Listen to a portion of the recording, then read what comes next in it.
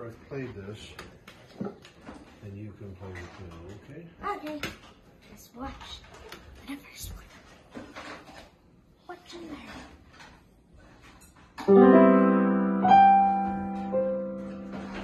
there?